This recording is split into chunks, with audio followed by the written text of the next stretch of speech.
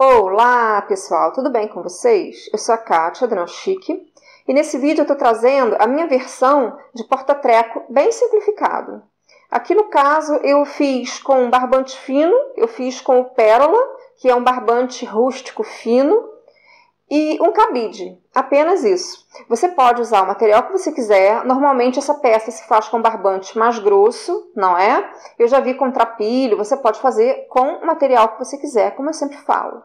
Eu tentei fazer com barbante grosso, gente, mas eu não aguentei. Com 10 carreiras, o meu pulso estava reclamando muito. Então, é até legal, porque quando eu falo de dor no pulso, eu vejo muita gente falando que também tem esse problema e fica sempre forçando com barbante grosso. E eu gosto sempre de trazer as possibilidades para vocês, para vocês verem, principalmente para a galera que vende, não é? Que pensa assim: ah, mas eu preciso vender porta-treca, eu preciso vender organizador. Faz com barbante fino, gente. Isso daí, quem é mais velho vai lembrar. Isso daqui, na época das nossas mães e das nossas avós, que usavam muito isso, dentro de guarda-roupa, inclusive, para guardar calcinha, guardar meia, guardar o que fosse, faziam de tecido fino. Então, sabe, por que tem que ser, tem que ser com barbante? É como eu falo, não tem, tá bom? Então, gente, esse foi um pedido da Raíza Priscila que eu tinha dito que faria e esqueci. Então, finalmente, está aqui, nasceu. Lembrando, né, que eu fiz com barbante pérola, que é um barbante fino, mais ou menos da grossura do Anne, e agulha número 3. Mas você pode fazer com o material que você preferir. Vamos ver como faz? Seus lindos, essa peça nós começamos com uma correntinha do tamanho da base do que você for usar para prender a sua peça. E em número ímpar de correntinhas. Então vamos lá.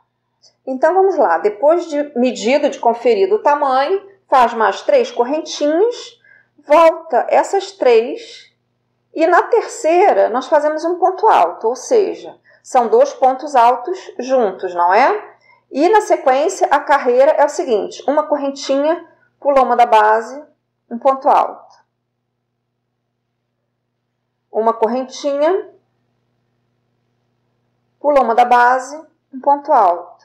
Terminamos a carreira da mesma forma que iniciamos, com dois pontos altos juntos. Então, né?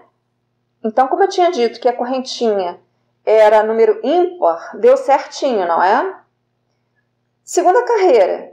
Inicia exatamente igual à anterior e todas as carreiras dessa parte vão ser iguais.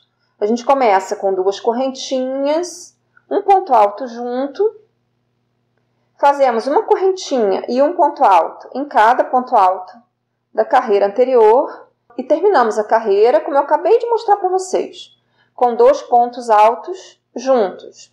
E aí você faz essa parte do tamanho que você quiser, dependendo do que você quiser fazer como porta-treco, de como você quiser que ele seja. Ele pode ser mais compridão, quadrado, como você quiser, tá bom? Retangular, e aí, quando eu achar aqui um tamanho que está um tamanho legal, eu volto para mostrar para vocês a sequência. Seus lindos, depois de 45 carreiras, que deixou essa minha peça de fundo praticamente quadrada, eu vou começar a fazer os bolsos, que eu vou fazer exatamente igual. Eu fiz isso aqui, só que obviamente menores.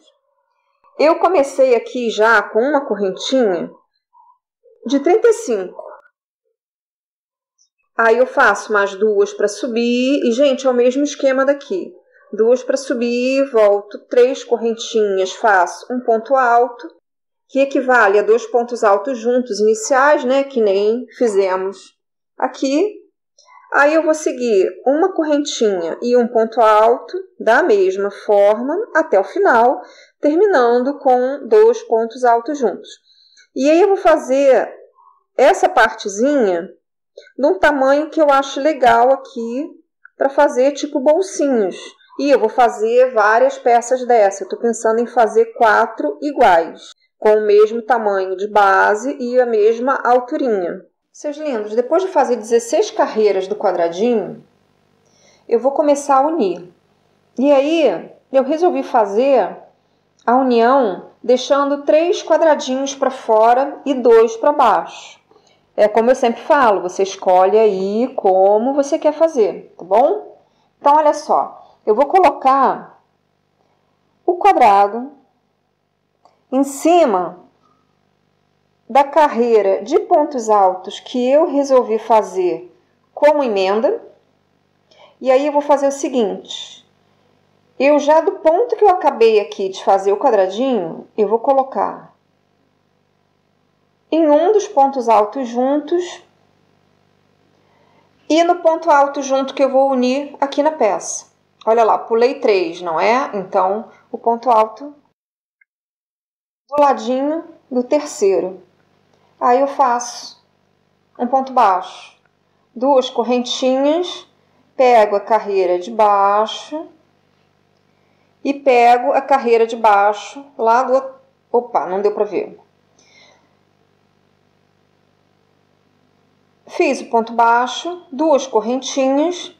Na carreira seguinte, eu pego novamente sempre a correntinha ou ponto alto do extremo, né, do, do cantinho do quadrado, né, aqui, e o ponto alto da linha que eu comecei a unir ali em cima. Só isso aqui. Duas correntinhas e a terceira carreira. Eu vou descendo aqui no caso, na lateral. Eu vou fazer 16 pontos baixos, não é? Já que são 16 carreiras, separados sempre por duas correntinhas. Aí eu vou fazendo isso até ali embaixo, volto para mostrar para vocês a quina. Fiz toda a lateral, como eu falei para vocês. Olha lá, retinho, na coluna de pontos altos. Agora é alinhar direitinho aqui embaixo, que no caso ficou também na minha terceira carreira, né? São três quadradinhos também. E aí a gente alinha da seguinte forma. Como eu sempre falo, para dobrar a carreira que interessar, carreira ou coluna que interessar, assim. E aí o que, que acontece? Aqui do lado nós fazíamos duas correntinhas, né? Aqui embaixo a gente faz uma só. Aí eu faço, fiz o último ponto baixo na lateral, faço uma correntinha e vou começar a trabalhar embaixo. Aí eu pego na correntinha da base do quadradinho e no equivalente, logo depois aqui da emenda, na correntinha também. Um ponto baixo, e aqui no caso, nesse lado, vai ser uma correntinha só. E novamente, na correntinha do quadradinho, na correntinha do quadradão.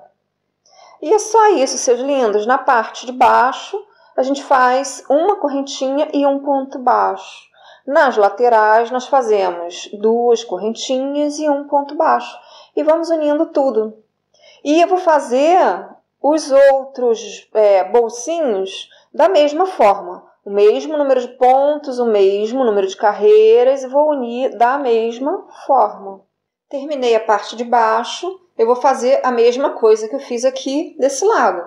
Aqui eu vou fazer uma correntinha para sair do último ponto baixo que eu fiz na parte inferior e vou começar a unir aqui na coluna. Tomem cuidado para fazer certinho, tá, gente? Porque olha lá, aqui foi numa, numa coluninha, aqui numa carreirinha, aqui a gente tem que subir na, carreirinha, na coluninha certinho. Pego no ponto do quadradinho, no ponto do quadradão. A mesma coisa que eu fiz lá do outro lado. Duas correntinhas, um ponto no quadradinho, na, no ponto alto do quadradinho, um ponto no ponto alto do quadradão. Então, seus lindos, fiz toda a volta, como eu mostrei para vocês. Olha lá, tudo presinho, né? Então, a parte de cima, obviamente, é aberta. Então, para dar um acabamento, né, dar continuidade ao acabamento, eu fiz até o último ponto baixo na lateral, né, até a última carreira de união. Aí eu faço uma correntinha e um ponto baixo na correntinha seguinte. Vou fazer isso até fechar a volta. Uma correntinha, um ponto baixo, uma correntinha, um ponto baixo. Nas correntinhas, tá, gente? Do quadrado. E acabei, quando chegar lá na fechar, né, toda a volta, eu acabei esse bolso. E aí eu vou fazer outros, pelo menos o outro que eu vou colocar desse lado aqui vai ser exatamente igual esse daqui. Os de cima eu não sei, Eu vou ver, eu vou fazer a, primeiro, o outro ali e vou ver se fica legal fazer igual.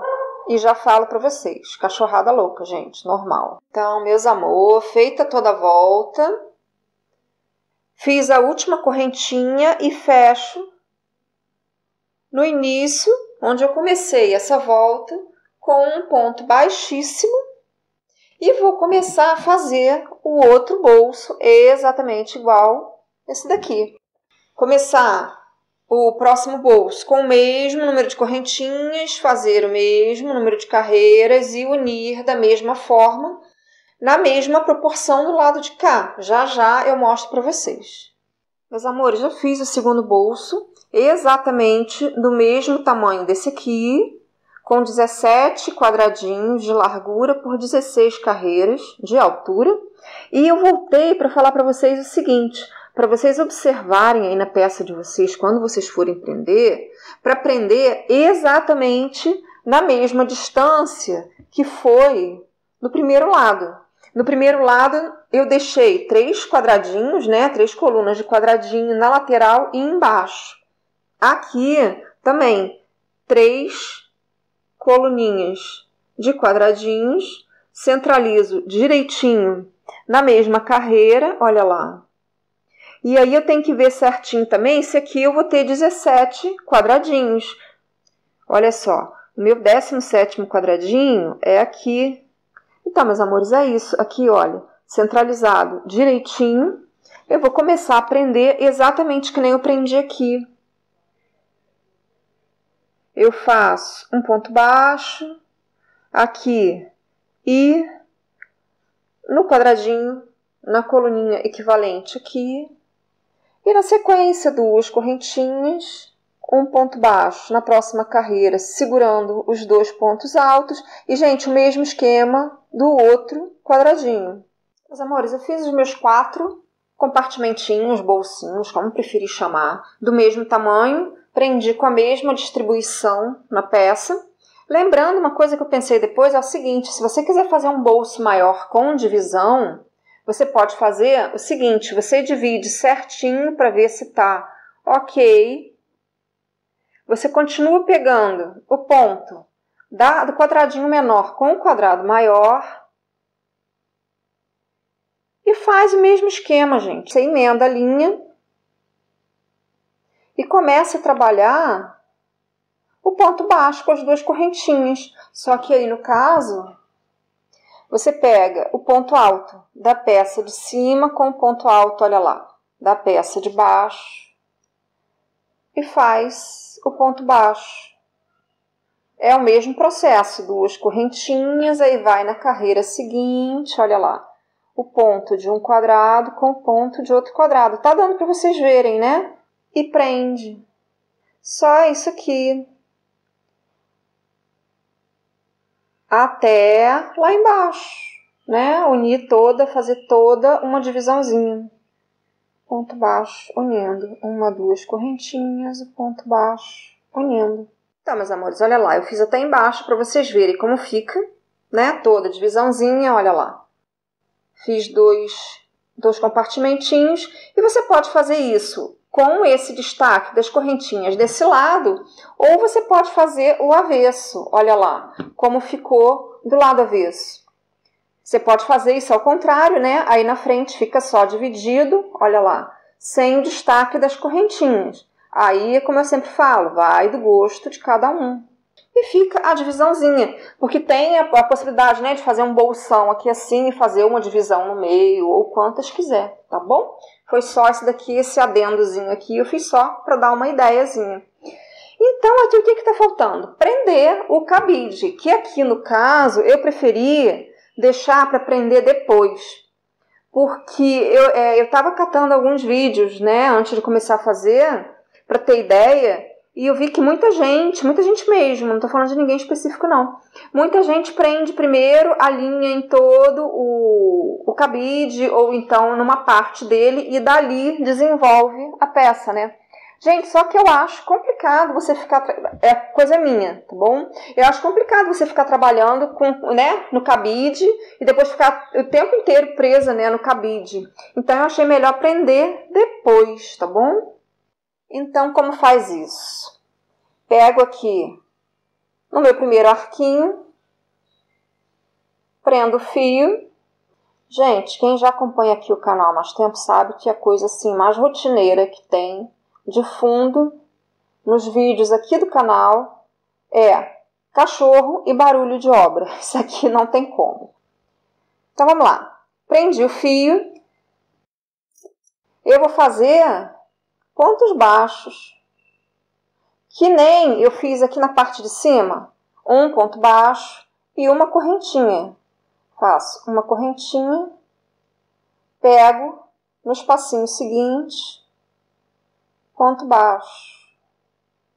Isso aqui, se você quiser fechar a volta toda do seu cabide, é só você, depois que acabar a carreira, você seguir. Eu não vou fazer isso não, eu só vou prender a peça no suporte.